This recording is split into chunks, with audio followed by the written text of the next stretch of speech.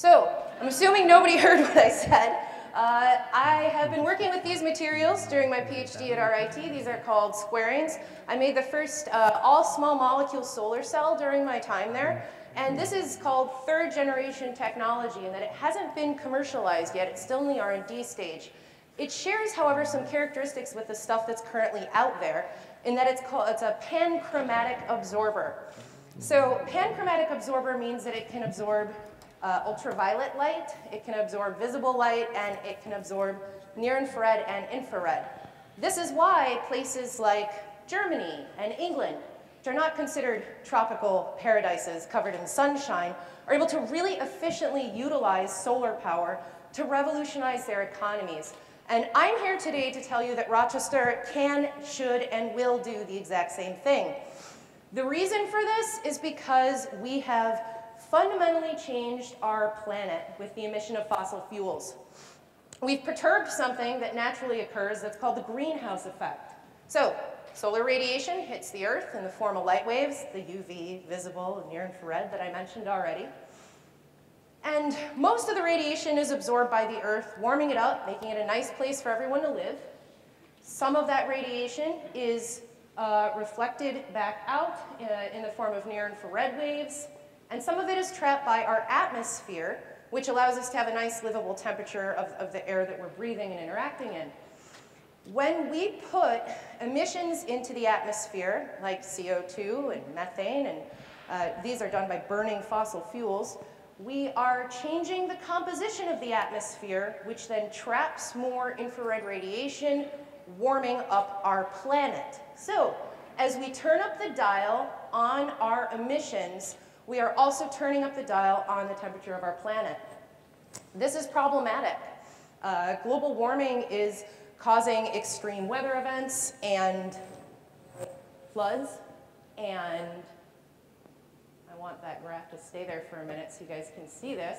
Uh, what you're seeing here is the correlation between the two things. So for the last 2,000 years, we've had a fairly steady rate of CO2. We haven't really been emitting a lot. With the industrial age and then the post-World War II boom, we have exponentially increased our emission of CO2 into the atmosphere, which has resulted in a similar increase in our temperature.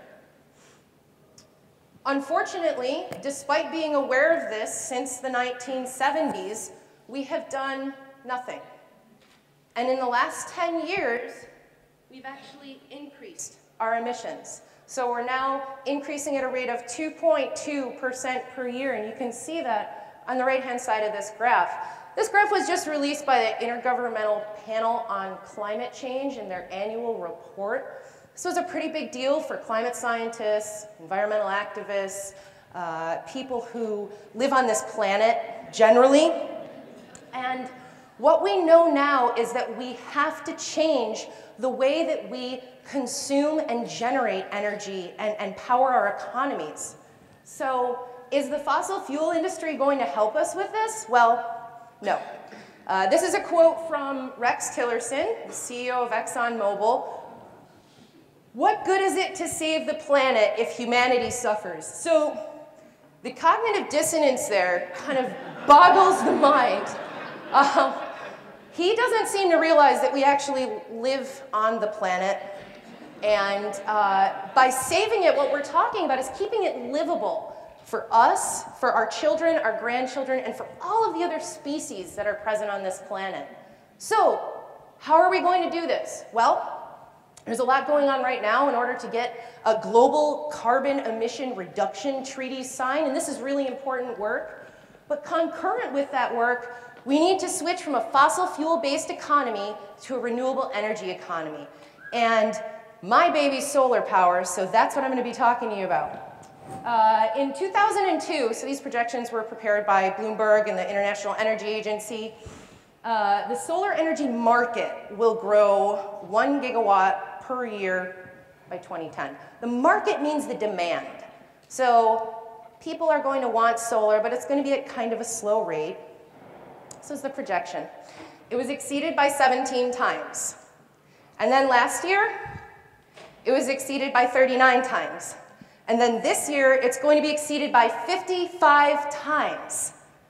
What we call this is exponential growth.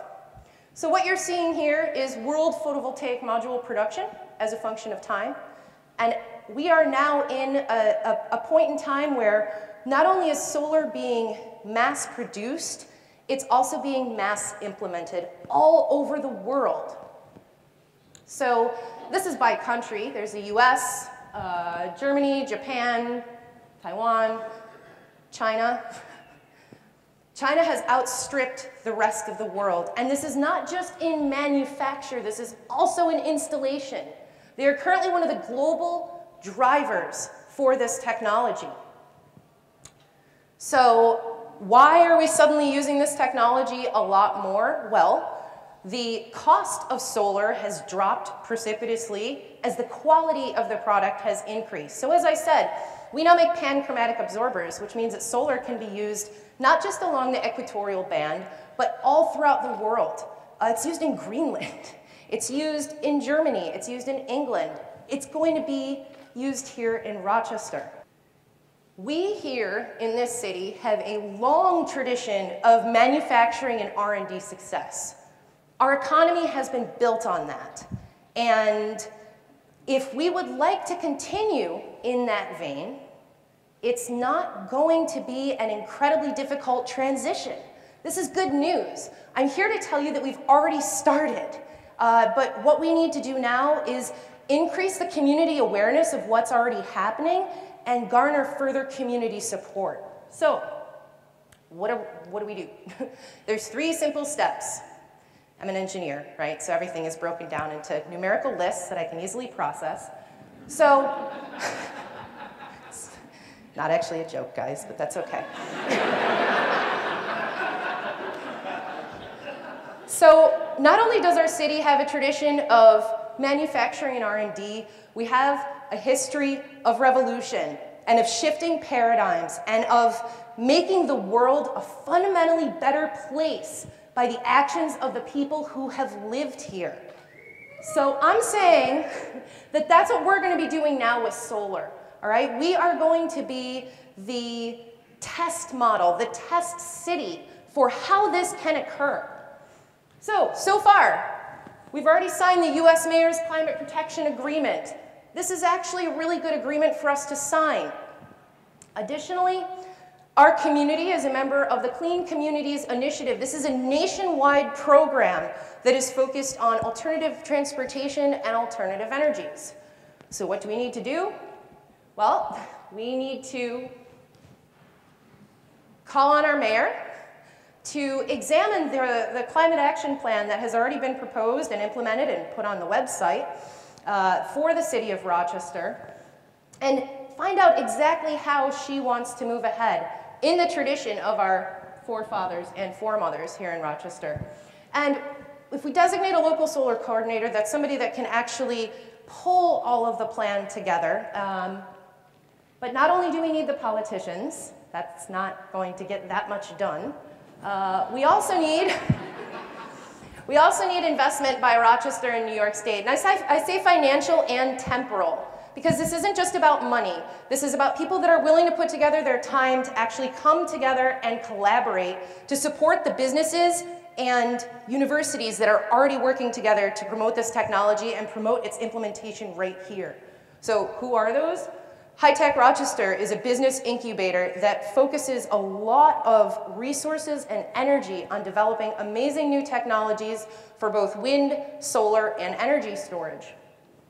Sustainable Energy Development is another local company that is having its installation business of solar panels absolutely explode. Harbec Plastics is, uh, a, is a model for how all small to medium-sized businesses can operate.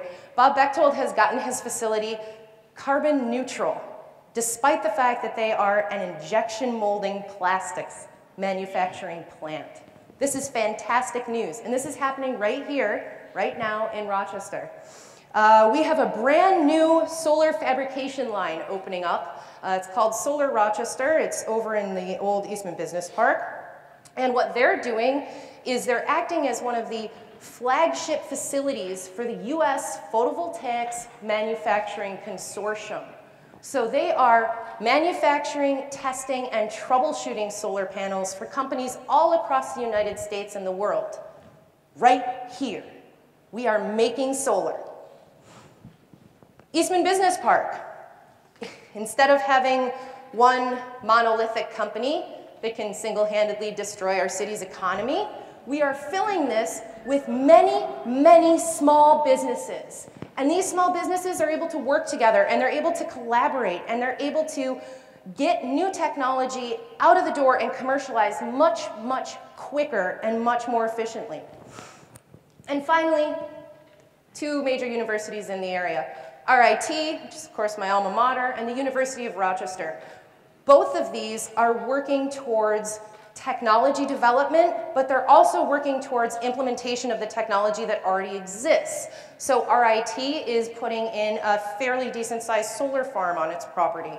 Uh, U of R is working to get students actually educating other students about global warming and climate change. So in order to have this all come together, we're essentially needing to balance the politics against the business, right? Because this is unfortunately how the sausage gets made. When, when we are able to do this, what we need to next have is public support.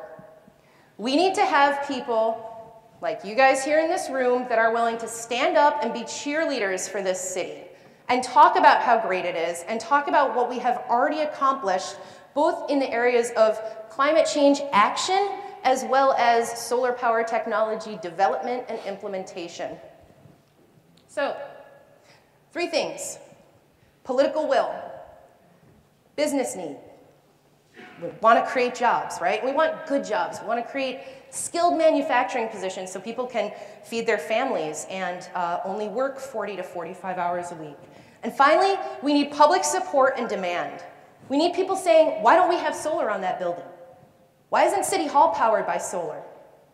Why don't we have solar at any of our transportation hubs? And if somebody says to you, Rochester can't use solar, we don't get any sun, explain to them that the sun puts out a lot of different kinds of photons, not all of which you can see, but all of which our solar technology can collect, okay? Once we have these three components, what we're going to do is become one of the Department of Energy's solar cities. So these are flagship cities that by developing and getting a plan approved by the DOE, they actually get investment.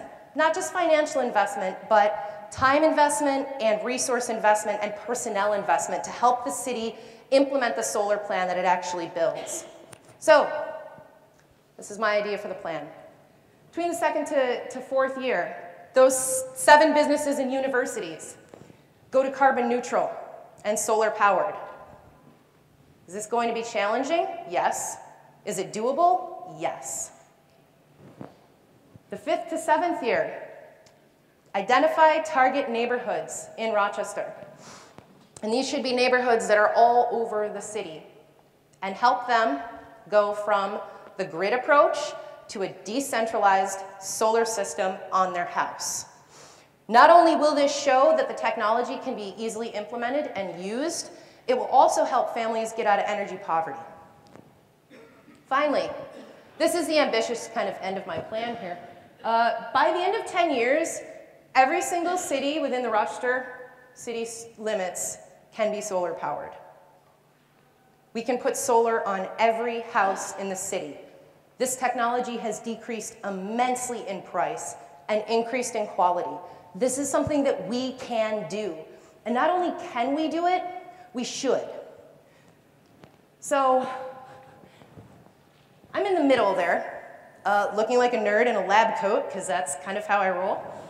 And this is me at the People's Climate March in New York City on September 21st, where 400,000 people gathered together to march in the streets and demand change and demand action from our leaders. This was an enormous sense of community. The scientists were marching with the faith leaders. And at first that felt kind of weird.